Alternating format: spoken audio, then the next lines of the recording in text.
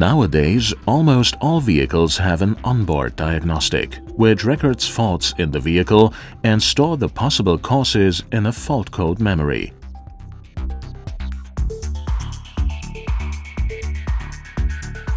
You should therefore first of all read out the fault code memory.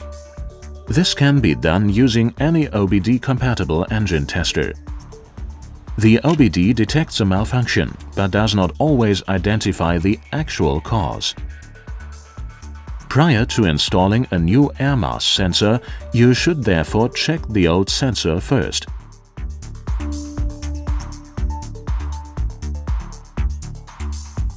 Please note the pin assignment of the mass sensor and the vehicle circuit diagram. The pin assignment, test procedures and test values for the sensors described here can be found on our website, for example in the service information SI79. The check can be carried out with a voltmeter, an oscilloscope or using the appropriate engine tester functions. If no special testing cable is available, the measuring instrument can be connected to the back of the plug using corresponding test tips. In doing so, do not pierce the lines. Water could penetrate and lead to corrosion of the lines. Make sure that the gaskets in the plug are not damaged. When the ignition is on, there should be an onboard voltage of approximately 12 volts between pin 2 and the vehicle ground. Alternatively, the onboard voltage may also be measured between pin 2 and pin 3. There is a sensor voltage of approximately 5 volts between pin 3 and pin 4. If these values are not reached, all affected lines and plugs must be checked for short circuits, interruption and transition resistances.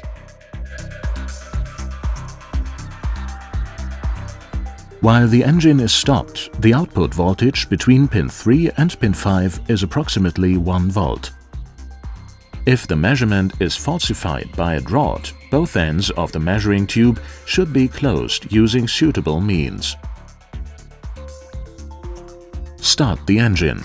When the engine is at operating temperature, you should obtain a measurement of 1.2 to 1.8 volt.